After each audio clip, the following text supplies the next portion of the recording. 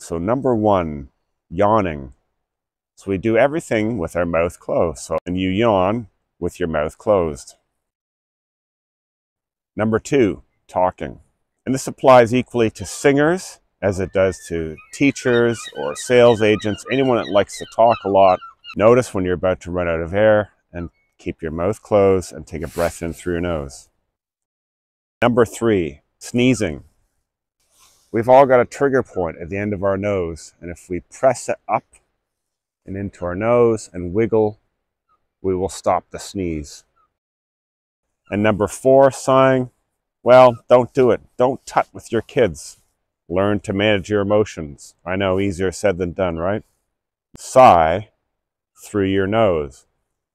And on the out breath, slow it down. So you might take a breath in for two seconds, out for three or four or five.